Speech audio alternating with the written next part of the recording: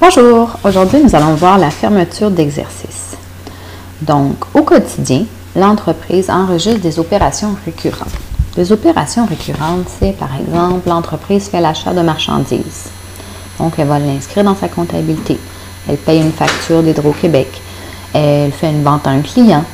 Un investisseur euh, fait un investissement, donc un propriétaire. Euh, elle va euh, augmenter le compte à part. Même chose pour les retraits qu'elle peut faire à ses, à ses propriétaires. Lorsqu'elle désire faire ses états financiers pour prendre des décisions, avant, elle va faire des régularisations. Donc, les régularisations sont là pour corriger certains comptes qui ne représenteraient pas nécessairement euh, la réalité euh, de l'entreprise. Lorsque ça s'est fait, elle peut faire ses états financiers et prendre des décisions, euh, donner ses états financiers aux propriétaires ou à des créanciers qui les demanderaient. Avant de commencer une nouvelle année financière, donc un exercice financier, l'entreprise doit faire une fermeture d'exercice. Donc, le but, l'objectif de la fermeture d'exercice, ça se fait seulement une fois par année, et c'est d'ajuster certains comptes pour commencer le nouvel exercice qui s'en vient. Donc, comment on arrive à faire ça? Donc, la première chose qu'il faut faire, c'est se dire qu'on va ajuster le compte capital. Le compte capital dans une entreprise individuelle, il y en a un. Si on est dans une société en nom collectif, il va y avoir autant de comptes capital qu'il y a d'associés. Donc, s'il y a trois associés, il va y avoir trois comptes capital. Lorsqu'on dit ajuster, c'est que avant la fermeture d'exercice, le compte capital est égal au capital début. Donc, lorsqu'on regarde l'état de variation des capitaux propres avant la fermeture, le compte capital. Donc, ici, c'est vraiment quel est le solde du compte capital Jessica au début de l'exercice, au 1er janvier. Donc, le solde est de 39 500. Après avoir fait la comptabilité, on veut que le solde de ce même compte donc, la première et la dernière ligne de l'état des variations des capitaux propres représente le solde d'un compte, du même compte. Mais voici le solde au 1er janvier. Puis, au 31 décembre, on aimerait que le solde de ce compte-là soit maintenant de 79 000. Donc, il faut venir faire une écriture de journal pour ajuster le compte pour qu'il soit égal à 79 000 après la fermeture d'exercice. Ça, c'est la première chose qu'on fait, c'est d'ajuster le compte capital. La deuxième chose, c'est que pour ajuster le compte capital, il faut de l'argent, il faut des montants. On prend où? On remet à zéro les comptes qui affectent le compte capital. Donc, le compte capital, il a bougé ici, il a varié.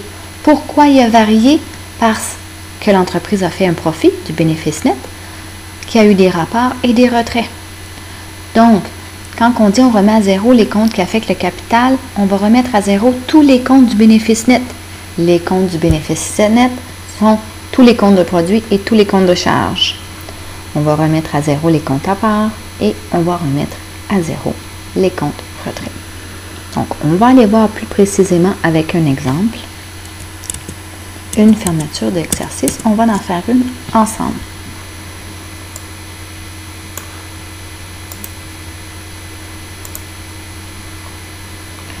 Donc, ici, on a les états financiers d'une entreprise. L'état des résultats, l'état des variations des capitaux propres et le bilan pour la période de 2017.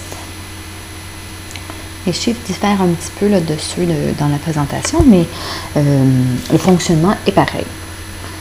Pour cette période-là, l'entreprise a fait un profit de 90 000 En dessous du bénéfice net, on voit qu'il y a deux noms. Donc, ça nous indique que c'est une société en nom collectif. Il y, a, deux associés, Jessica et Christine, et comment ils se répartissent le profit selon l'entente qu'ils ont faite ensemble lors de la création ou qu'ils ont modifié par la suite. Et dans ce cas-ci, il y a du 90 000, il y a 30 000 qui va à Jessica et 60 000 à Christine. Dans une société en nom collectif, chaque associé a sa colonne dans l'état des capitaux propres. Ce qu'on peut voir ici, c'est que le compte capital Jessica rappelons-nous que chaque associé a son compte capital. Donc, le compte capital Jessica, au 1er janvier, était de 39 500. il est resté comme ça tout le long de l'exercice. Donc, pendant l'exercice, le compte capital ne bouge pas. Une fois que l'exercice est terminé, on veut ajuster ce compte-là pour qu'après la fermeture, le solde du compte capital soit égal à 84 000. Donc, comment est-ce qu'on va faire ça? Ajuster le compte capital Jessica pour qu'il passe de 39 500 à 84 000. Ici, on peut se faire un petit calcul, 84 moins 39 500. Il va falloir l'augmenter ce compte de 44 500. Donc, c'est ça ici qu'on va faire lors de la fermeture. Donc, si c'était nos états financiers, on a, je vais enlever ça ici, on a ici notre balance de vérification au 31 décembre avant la fermeture. Donc, la fermeture n'a pas encore été faite. On le voit parce que les comptes qu'on remet à zéro, ils ont encore des soldes? Parce qu'après la fermeture, ces comptes-là vont être à zéro dans la balance de vérification. On voit aussi que le compte capital Jessica est à 39 500, qui est le montant de capital début, donc qui n'est pas encore égal à 84 000. Donc, allons faire notre fermeture d'exercice. La fermeture d'exercice se fait toujours beaucoup plus facilement sur Excel lorsqu'on a la balance de vérification.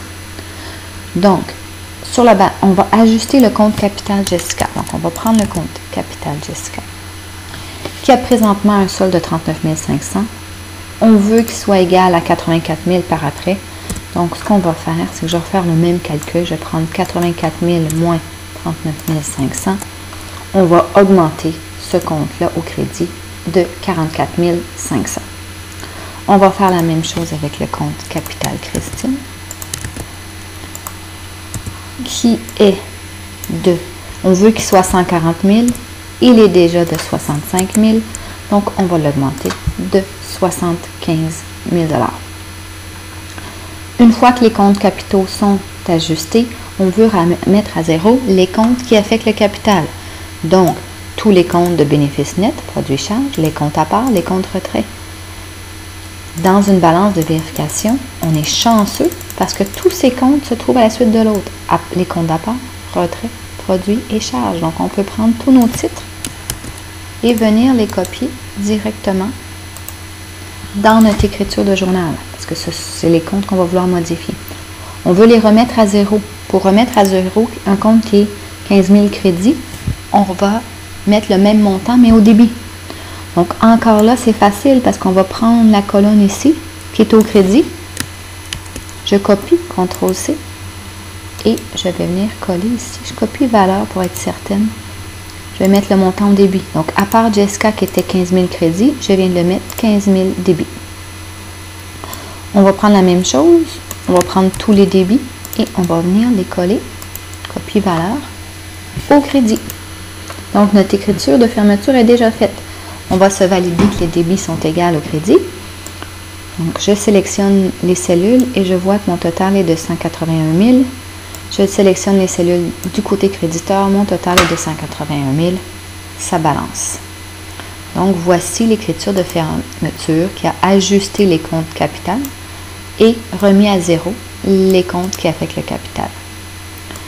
Ensuite, si je refais une balance de vérification au même jour, mais après l'écriture de fermeture, le compte en caisse n'a pas changé. Donc, il n'est pas affecté, c'est un compte de bilan. Même chose pour matériel roulant, compte de bilan. Le compte capital, il était 39 500 au crédit.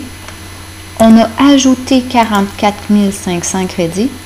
Donc, crédit plus crédit, ça, ça, s'additionne. Le solde après, c'est 84 000. On va venir vérifier que c'est bien ça qu'on veut à l'état des variations des capitaux propres. État des variations propres, capital Jessica à la fin, 84 000. Donc, c'est bien le solde qu'on veut. On va faire la même chose avec capital Christine. Le solde était 65 000 avant la fermeture. Crédit, on ajoute d'autres crédits. Donc le solde, 140. Pour les apparts, à part Jessica, le solde 15 000 crédits plus 15 000 débits, ça fait zéro. Donc zéro, on ne l'écrit pas, c'est zéro.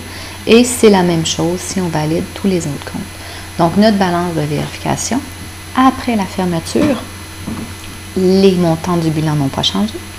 Les comptes capitaux sont égaux au capital de fin dans l'état des variations des capitaux propres.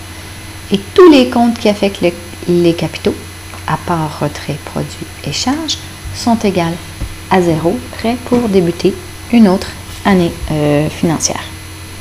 Donc, n'hésitez pas à venir me voir si vous avez des questions. Bonne journée!